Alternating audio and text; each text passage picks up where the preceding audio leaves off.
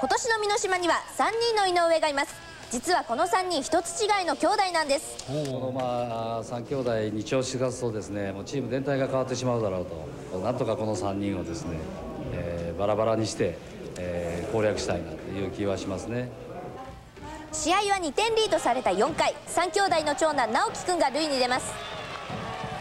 私は今美濃島高校応援席に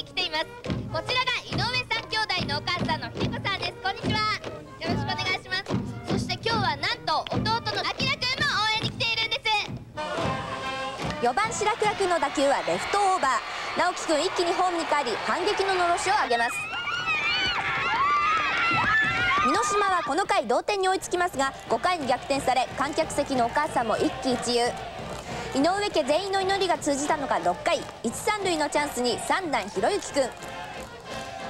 三塁ランナーの直樹君を返す逆転タイムリー。かし柿内監督率いる日高中津は7回同点に追いつきさらに8回逆転のチャンスを作ります。打球は無情にもサードの次男学君のはるか上を飛び日高中津の勝ち越し。